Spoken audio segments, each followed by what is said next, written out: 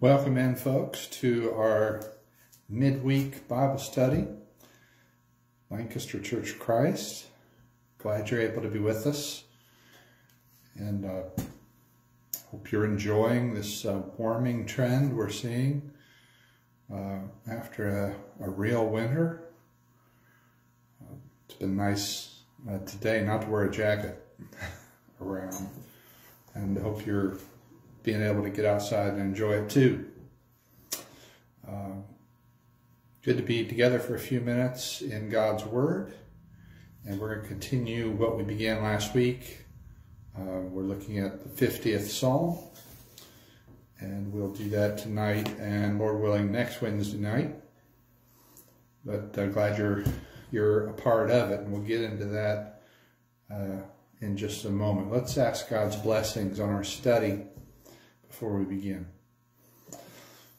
Holy Father, thank you for being our God and for calling us into relationship with you. Uh, we want to know more and more about you and your Son and more about how we can please you and be faithful servants. Please guide us as we study tonight uh, one of the great songs in your book and pray your blessings on all those who are a part of the study. Uh, help us to be more like Jesus and to not be selfish with the great treasure we found, but to share it with many. Thank you for always hearing us. We pray in Christ's name. Amen. All right, so we began uh, last week with this idea what's in a psalm and in particular talking about the 50th Psalm. And I hope uh, in our overview and our first uh, look at the first part of it last week that you got the answer, well, there's a lot in a Psalm. Because uh, that, that's part of the purpose of, of the study. So we'll continue that tonight. First, a little bit of a review in case um, you weren't able to tune in last time. 50th Psalm. Um, can can be divided into three basic parts. Uh, basically, the outline is verses 1 through 6, then verses 7 through 15, then verses 16 through 23. That's the three parts. And they each address a little bit different of an idea. Uh, it sounds and, and, seems like a judgment psalm, so God is uh, judging people. Uh, the first section, God sort of comes into the courtroom. He, uh, he, he shows up in great power and calls, we might say, court in session. And um, it's very interesting the descriptions that are used of what it's like when God shows up. And then in the middle part of the psalm, which we'll look at this evening, verses 7 through 15, God addresses his people, his worshippers, uh, which in the Old Testament, of course, would be Israel. And then in the last part of the psalm, verses 16 through 23, he turns to the group he calls the wicked. So again, we talked about how there's two different views. Is this uh, the wicked who are not part of Israel? That, that is uh, the people in the world in general. That's sort of the view I take. Um, many people in reading this psalm uh, view the wicked in the psalm as unfaithful Israelites. Could be either. I'm not sure it changes the message so much, which it is. Uh, but that third group is addressed in the third section, verses 16 through 23.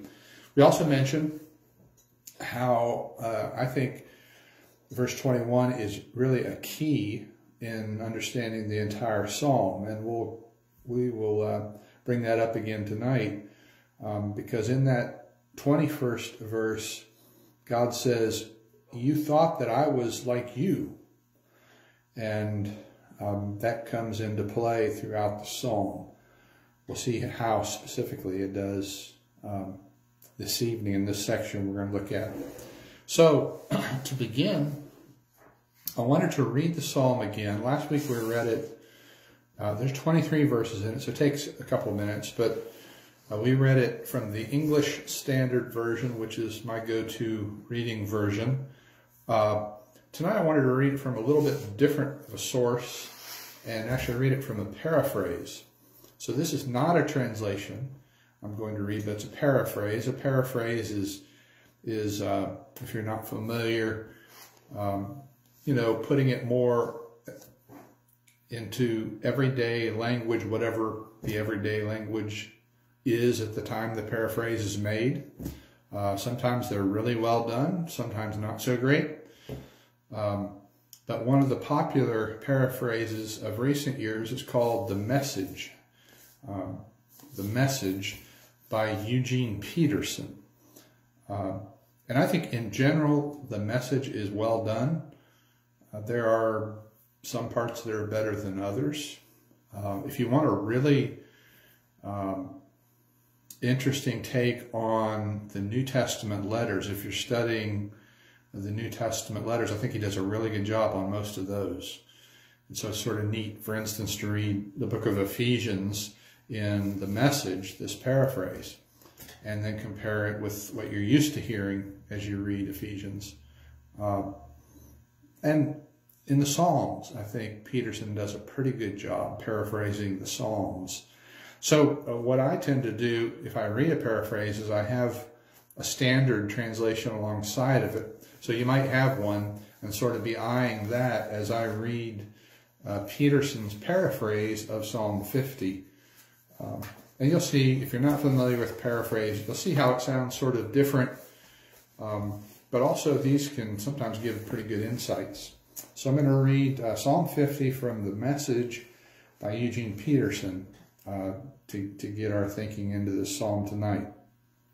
So it begins, the God of gods, it's God, speaks out, shouts, earth, welcomes the sun in the east, farewells the disappearing sun in the west. From the dazzle of Zion, God blazes into view. Our God makes his entrance. He's not shy in his coming.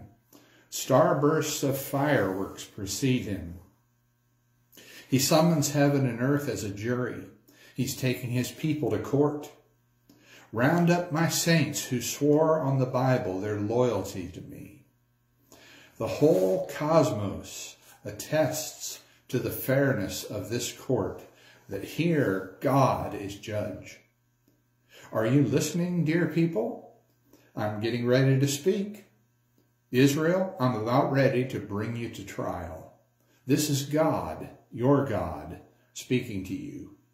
I don't find fault with your acts of worship, the frequent burnt sacrifices you offer.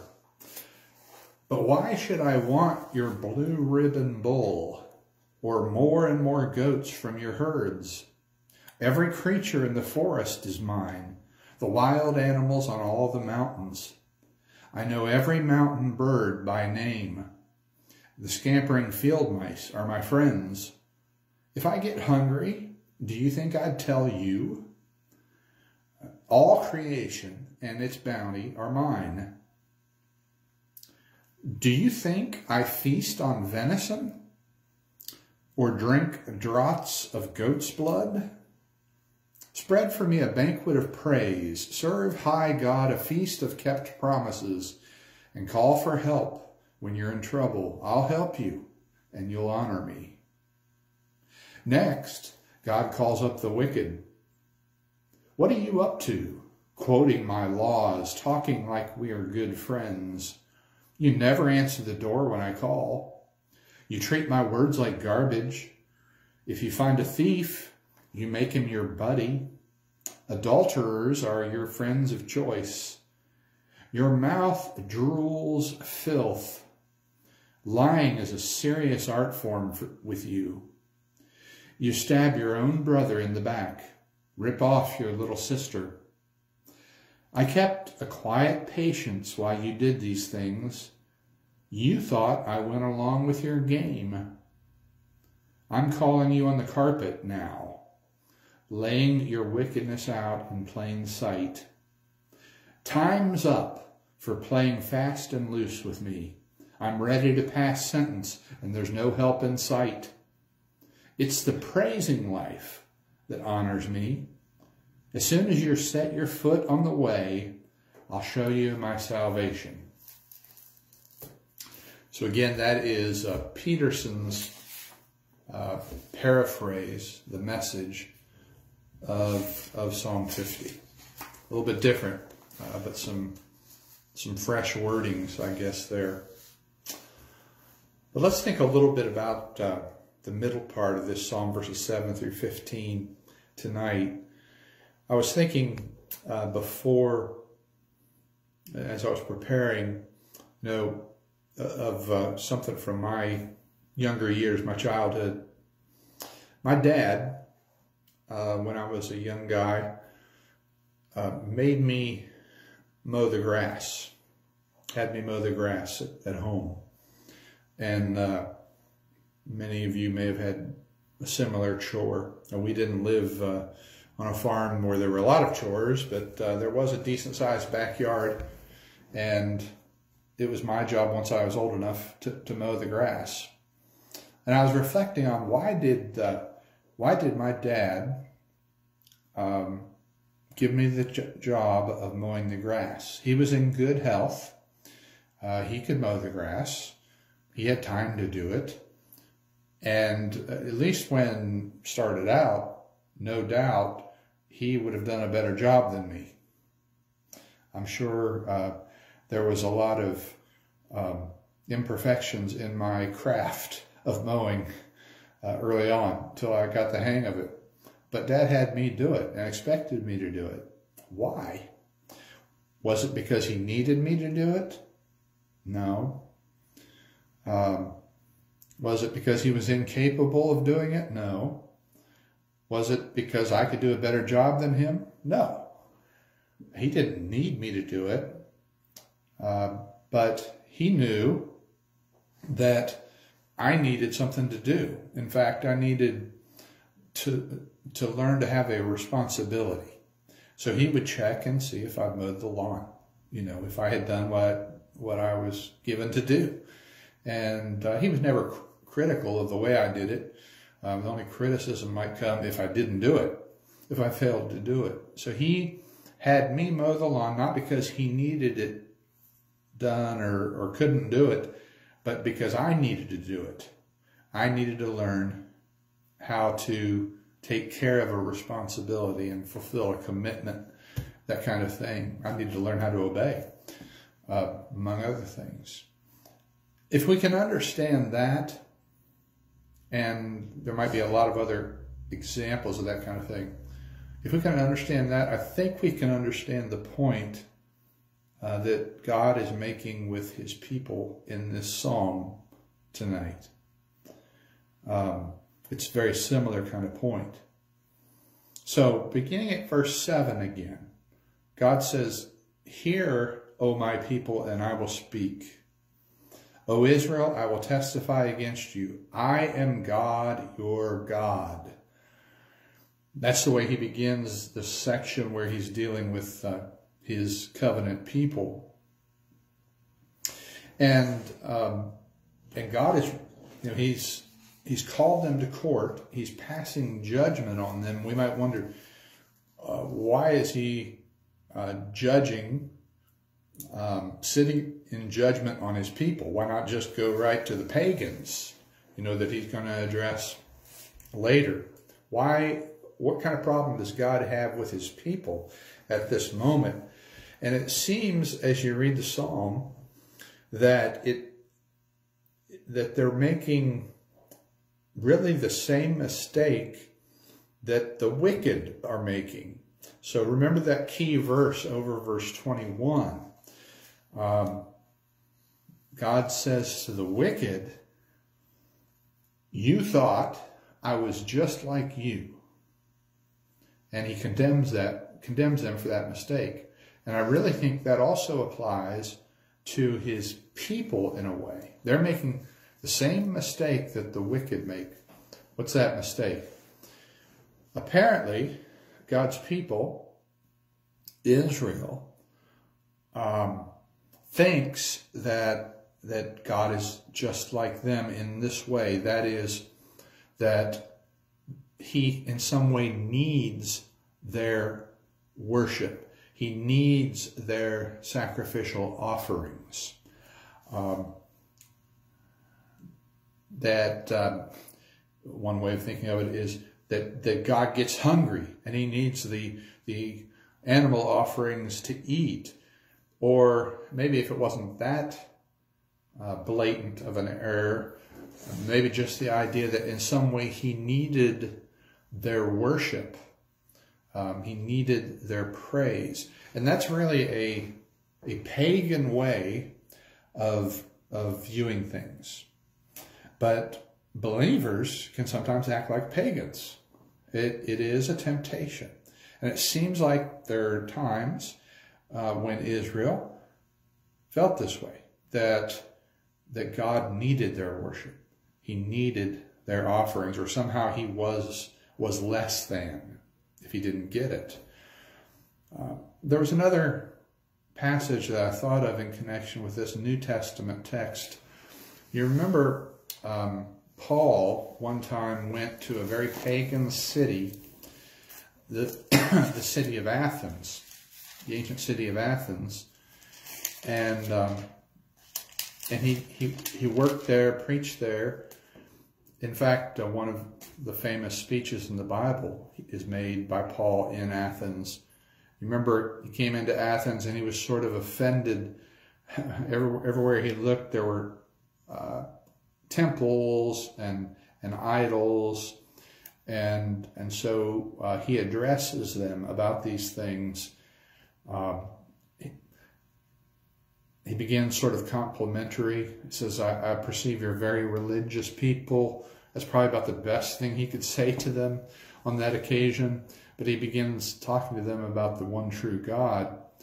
And um, one of the things he says this is Acts chapter 17, verse 24. He says, The God who made the world and everything in it, being Lord of heaven and earth, does not live in temples made by man, nor is he served by human hands as though he needed anything, since he himself gives to all mankind life and breath and everything. And especially that idea that God uh, is not served by human hands as though he needed anything. Um, the people in Athens, who were idolaters, pagans, needed to, to know that. And apparently it's true that sometimes God's worshippers need to know that. Um, that's what's being addressed here in this middle part of this psalm, okay? Somehow they have the idea that God in some way needs their worship, that that's the purpose of their worship. So just looking again at what it says. Verse 8, uh, back in Psalm 50. Not for your sacrifices do I rebuke you, God says. Your burnt offerings are continually before me, he says. So that's, that's in verse 8. So whatever we get out of this, God is not saying stop worshiping. He's not calling for them to quit worshiping. He's not saying stop the sacrifices, stop the, the singing, whatever it was uh, that was going on. That's not the point. But apparently they have a misunderstanding and they need to understand better what they're doing. It is important for us, is it not, to um, not only sing the songs, but understand what we're singing, correct? Um, we don't just uh, voice words um, because really they're not for God. They're not something he needs. They're for us. Uh, God wants Israel, and no doubt us, to understand worship is for us, not for him. We worship him, but we're the ones who need it. He doesn't need it. And when we get that twisted around, when we somehow think God needs our worship, that we're giving him something that he's lacking or something like that, then, then we've got a real problem. Um, a real misunderstanding. So, um, verse 8, uh, he says, he basically says, don't stop worshiping, but listen to me. Then this is the way he makes his point. Verse 9, I will not accept a bull from your house or goats from your folds, for every beast of the forest is mine, the cattle on a thousand hills. That's a portion of this psalm that I've heard quoted often through the years. God owns the cattle on a thousand hills. Okay? Um, I've never heard the context explained so, so much, but that phrase, I've heard it many times through the years. But what's God saying? I don't need you to bring uh, one of your bulls or one of your goats because I own them already. Uh, I own every beast in the forest. I own all the cattle on a thousand hills. And then verse 11, I know all the birds of the hills and all that moves in the field is mine. I've already got it all, God says. I don't need you to bring it to me. I created it. It belongs to me. Then verse 12, even in a more direct and colorful way, God says, If I were hungry, I would not tell you, for the world and its fullness are mine. Do I eat the flesh of bulls or drink the blood of goats? Well, it's a rhetorical question, and it's understood that the answer is to be a resounding no, I don't. God does not eat uh, he has no need like that. We eat because we need to eat. And some of us eat because we like to eat. But um, try not eating for very long, and you've got a real problem because we have that physical need. God does not. He does not eat the flesh of bulls or drink the blood of goats. He does not need our prayers and songs and offerings in the sense that he, he lacks them somehow. It all belongs to him to begin with.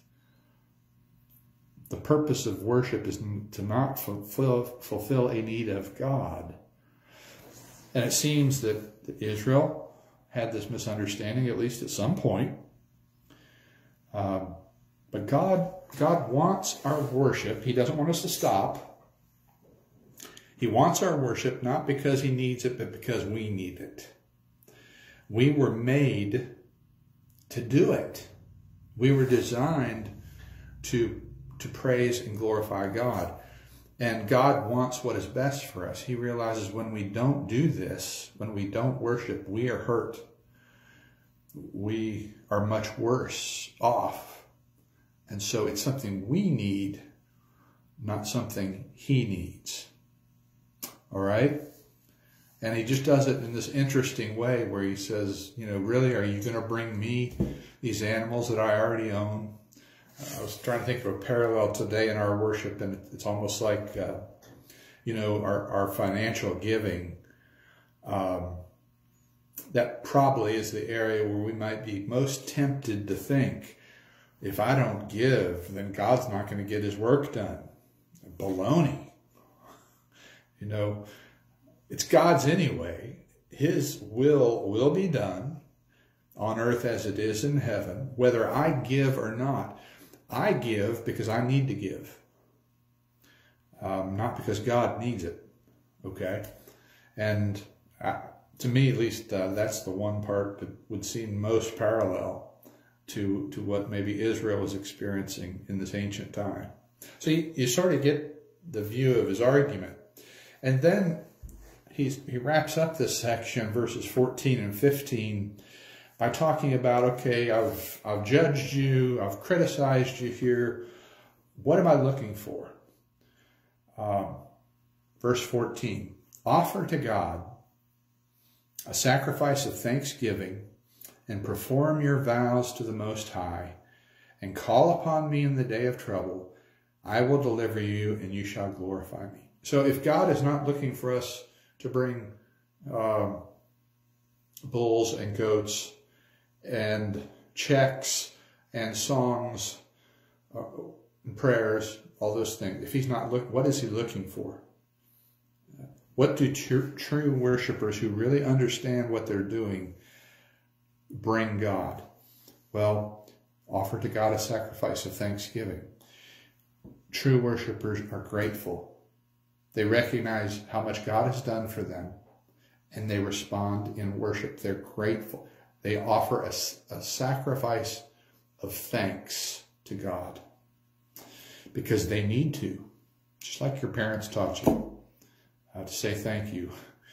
Uh, we're the children of God and we need to say thank you. And then the second uh, line of verse 14, and perform your vows to the Most High, true worshipers who understand what they're doing. Yes, they're grateful, they're thankful, but they're also faithful. Um, in, in the words of the Old Testament system here, perform your vows to the Most High. You've made this vow, this promise to God, fulfill it.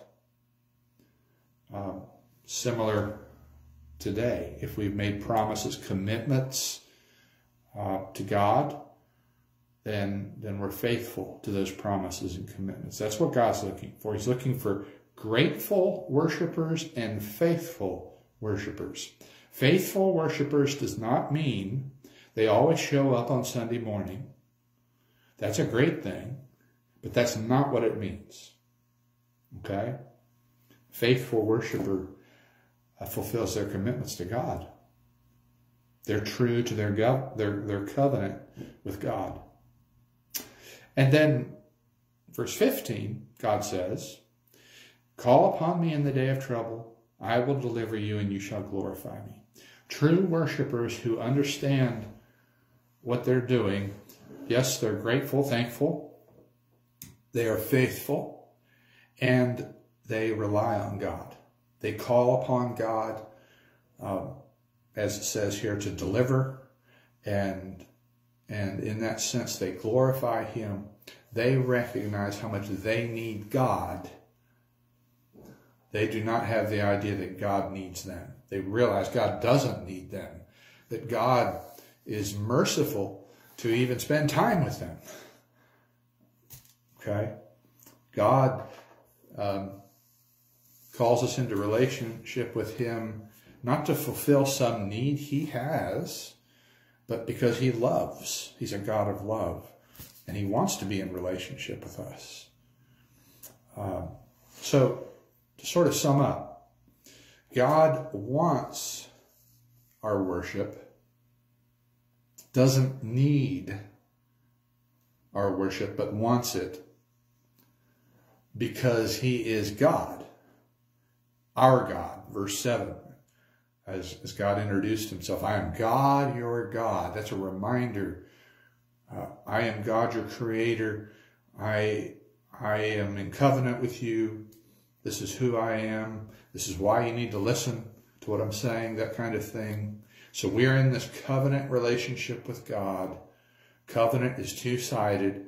God and, and, and his people enter into an agreement, in essence. Um, he promises to care for and bless and protect his people. And, and we, in turn, serve him and worship him because we're thankful and we want to be faithful to him, to him because he's so faithful to us. And so for that reason, we serve him and worship him, not because he needs it. You see, what we're talking about here is a relationship, not a ritual. Ritual is sort of the pagan side of this. To think God needs what I'm doing. God needs me here at 10, 10 a.m. on Sunday morning. Or in, in the Old Testament. He, needs me to show up at the temple with my sacrifice. Uh, in some sense, he needs me. No, that's a ritual. Uh, God has created a relationship with us. And, and when ritual takes center stage in our minds, our relationship with God suffers as a result. Anytime ritual is exalted, relationship suffers. Um, when relationship is primary, that's what God is looking for. All right. And so this, again, this sort of two-part uh, courtroom scene where God first speaks to his worshipers uh, and, says, you've got this problem. I don't want you to stop worshiping. But I want you to understand what you're doing and why you're doing it.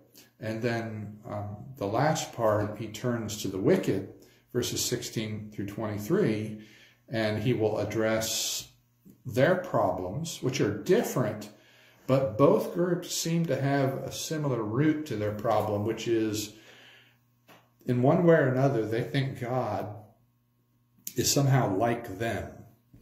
And one of the things we need to root out uh, in ourselves is the idea that God is somehow like me, like you, like us. That's always a source of error when we allow that to occur in us. God is wholly other than us.